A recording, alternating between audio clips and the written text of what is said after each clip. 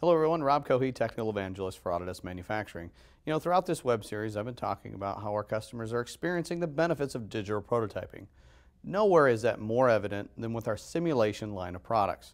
I'm here with Bob Williams. Bob is a product marketing manager for our simulation products. And Bob, tell us a little bit about Autodesk Simulation and how those tools help our customers.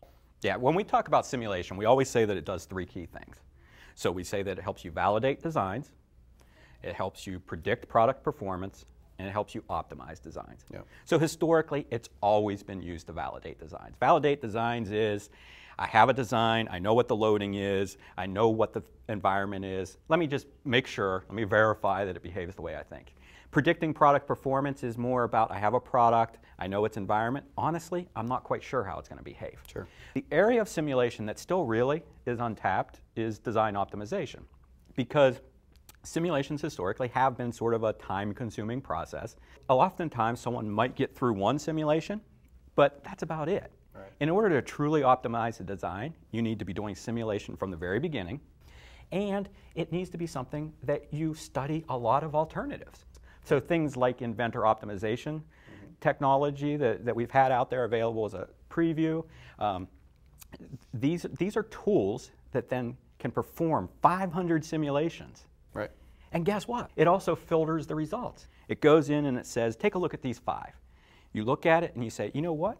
That is a great change that should be made to my design. You accept it, and there you are, back in Inventor with an optimized design. All right, so let's let's talk a little bit about the 2012 um, enhancements that we've made to our simulation offerings. Um, we've done some great work in the UI.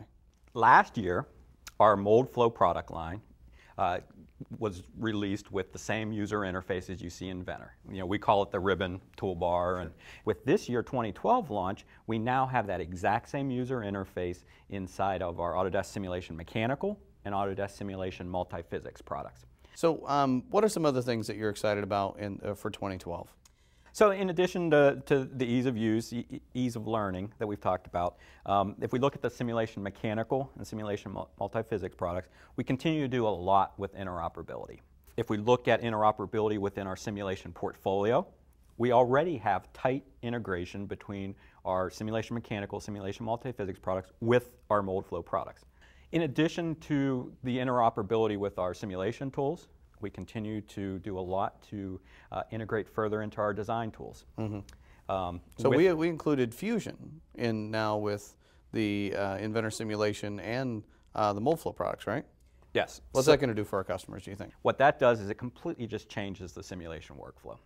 So whether you're someone looking to do simplification or someone looking to make modifications as part of an optimization process, Fusion plugs right into that. I take my geometry, I can real-time, direct modeling, use this tool, push, pull, modify the geometry, jump right back into my simulation tool, and continue working through this iterative process. Yep. Again, putting simulation in the process, not as an afterthought at the end, but right. part of as I'm working through. So, so Bob, I think that we play very well um, with others in the industry, um, and uh, being able to use Fusion almost as a translator because of all the things that we can read. Even if you don't use our modeling tool yeah. for engineering, you can still use Autodesk simulation tools. Yeah, with our simulation products, we have a real emphasis on being CAD neutral. We understand that people that need to perform simulation are using one or possibly multiple packages. Absolutely. So all of our simulation products have tight and, and direct support for a wide range of CAD packages.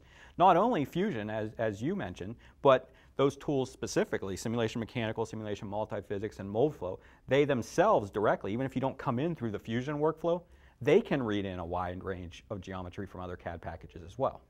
You know, Bob, what I'm hearing throughout this series is, is uh, the ease of use, the consistency and ease of use messages with everybody that I talk to. Um, and, and the breadth of our simulation offering is just absolutely incredible. Um, from an ease of use standpoint, making sure the consistency in the UI is there throughout the products that we were talking about, and interoperability between all the tools is really important. So I'm really excited about the Simulation 2012 line of props. Bob, thanks so much. No problem, Ron.